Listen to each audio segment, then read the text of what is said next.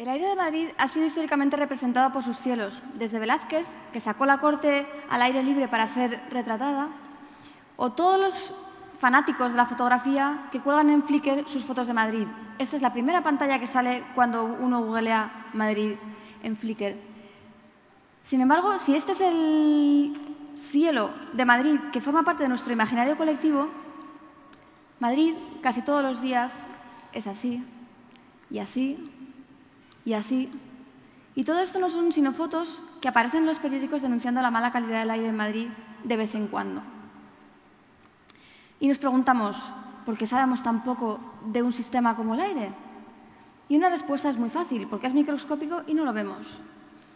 Entonces el proyecto INDIER nace como, con la voluntad de dotar de legibilidad a un sistema que forma parte de nuestra ciudad, con el que interactuamos y que gestiona nuestro día a día y también tiene una relación muy íntima con nuestros cuerpos.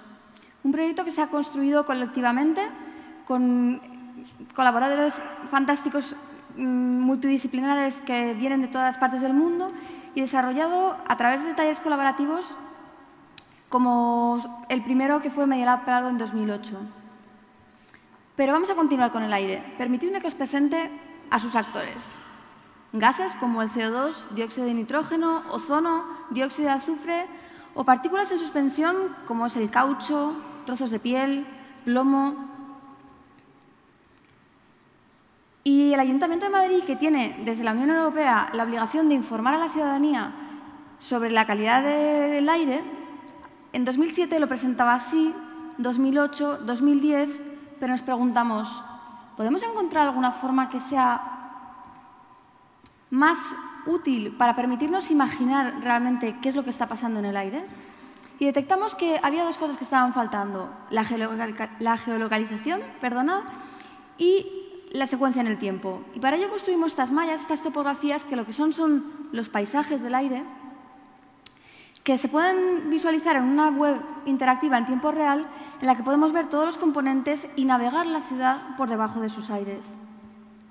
Podemos también ver cuáles son los efectos de nuestras acciones en la calidad del aire a escala ciudadana y a escala de 100.000 habitantes.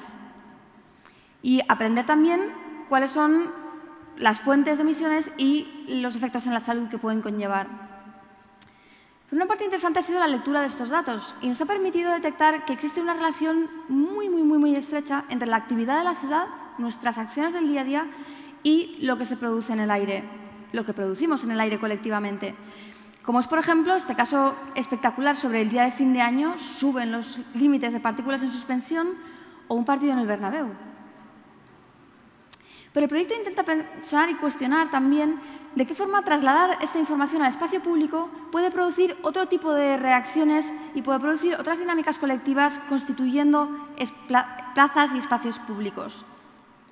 Y para ello desarrollamos varios prototipos. Uno de ellos es esta nube coloreada de vapor de agua en la fachada de Medialab Prado que informa con su pulso sobre la contaminación del aire, una fachada digital que nos permite navegar por las rutas de mínima contaminación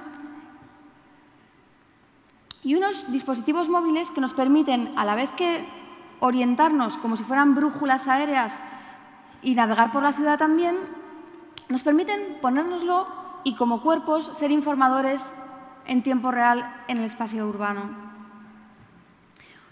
Actualmente estamos investigando este procomún, como se ha hablado hoy varias veces, está íntimamente ligado con nuestros cuerpos y cómo es capaz de gobernar la salud de los ciudadanos de Madrid, nuestros cuerpos, todos los cuerpos están afectados por él y qué procesos de exclusión eventualmente puede llegar a producir.